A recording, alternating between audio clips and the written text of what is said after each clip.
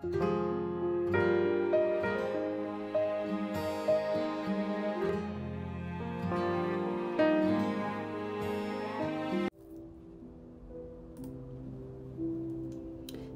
younger me, you got this. You are enough. And yes, you are ready. Getting married young is not a bad thing. Many people will discourage you due to their own experiences, but trust God and enjoy the journey. Never let the negative words of someone change the ways in which you move. As a wife, you will go through good days and bad days. You will be faced with challenges that may seem unbearable, intolerable, and mind blowing all at the same time. However, remind yourself that the way in which you handle the situation will determine the outcome. You will not get everything right all the time. You do not always have to prove yourself, and you do not have all the answers, but that does not take anything away from who you are. It is imperative that you remind yourself that marriage will not always be a bed of roses, but a good wife understands how to withstand the thorns and then enjoy the flowers. There will be times in marriage when you realize the only way to handle the different seasons that marriages go through is by keeping God in the middle of it when there are two people coming together as a unit from two different backgrounds, there will always be a difference of opinions. However, that can be a great thing if it is appreciated by the two of you. But understanding the power of compromise eliminates the long periods of consistent disagreements. Dark moments typically last if it is allowed within the marriage to linger without deciphering the issues. As a wife, take time out to meet God in prayer when issues arise and you have no answers.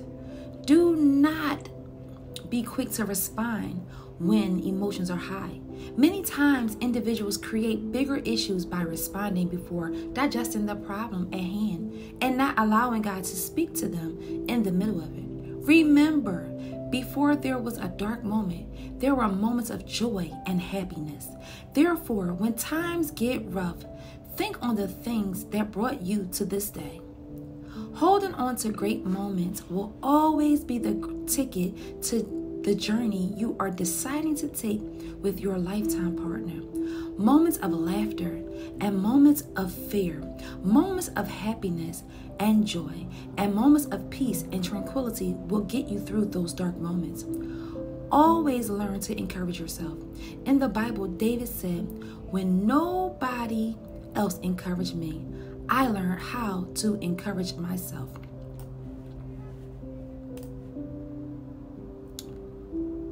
When days get rough, turning to people may not be the answer, but trusting and leaning on God's word will always be the greatest solution. A good statement to live by is work the word because the word works. Communion with God is the start of effectively communicating with others. Communication is one of the most important tools needed within any relationship. When something is wrong, do not be afraid to speak about it. Walking around carrying burdens causes more issues instead of figuring out how to deal with it. In marriage, you are a team, not opponents. Therefore, be careful that your actions do not create more problems. Learn how to share your feelings with each other. It's okay not to be okay. It's also okay to be vulnerable with your mate. Those are the moments that brings you closer when you are honest about how you may be feeling, regardless of it being good or bad.